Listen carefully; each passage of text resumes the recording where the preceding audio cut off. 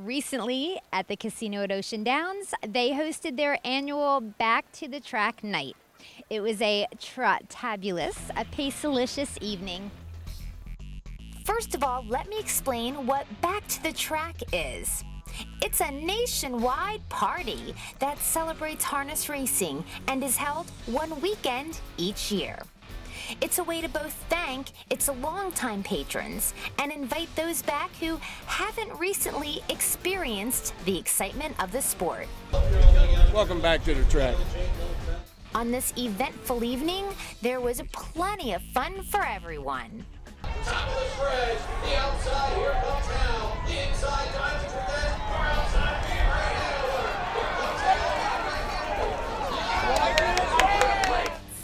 And friends of racing took advantage of great deals on food and beverages.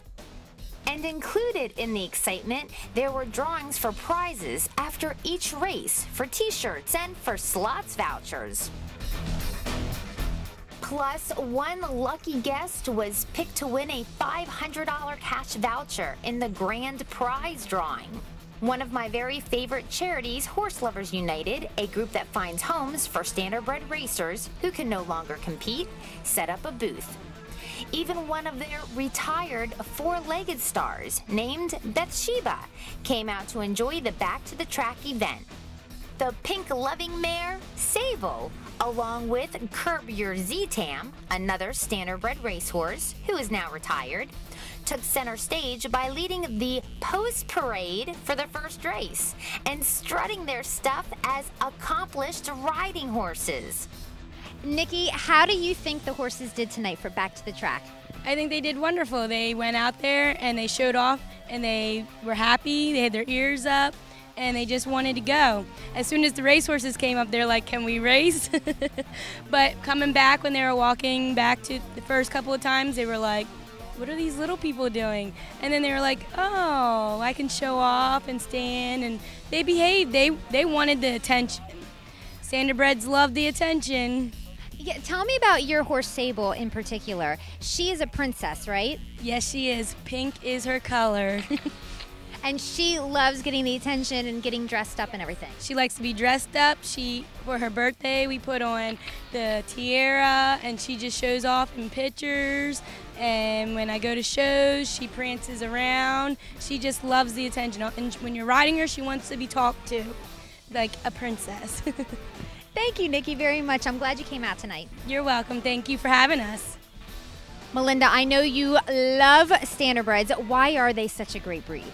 Because they're just overall just have a great outgoing personality. There's really no difference between, you know, a normal riding horse and a standardbred. They just race just like a thoroughbred with a lot of different equipment, and the only thing they have to get over is the weight on their back. They've done seen everything and anything. So the way I look at it, they're like a young horse. You can train them to whatever you want, and yet they have all the experience of gone places. So they're just so, yeah, whatever. I'm here.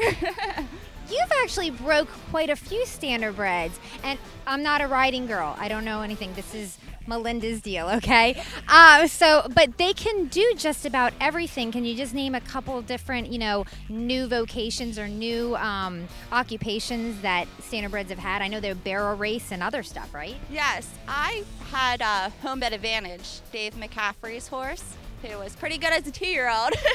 um, he actually went to a little girl, Haley Lynch, and she trained him for the speedy venture, the barrels, the poles, and he really loved it. And I was like, I wonder how many standardbreds have done that. So I actually Googled it, and there is an actual standardbred that competes just as good as those quarter horses and even thoroughbreds make it there and they were he was just as good as all of them i trained mine i'm more of an english girl so curb your z-tam is going to do the hunter jumpers and we'll see how it goes well, speaking of shows, right around the corner we have the Delaware State Fair, and can we see you there? Of course, you can see me there in the riding class with Curb Your Z-Tam, and we're also taking Power Girl Z-Tam, and Lori Davis. We'll have her in the blue corner. And of course, we have Princess Keystone Sable with Nicky. So look out for us there. We're taking over this year. Thanks, Melinda. No problem. Thank you. I heart standardbreds so much. They are anything but standard.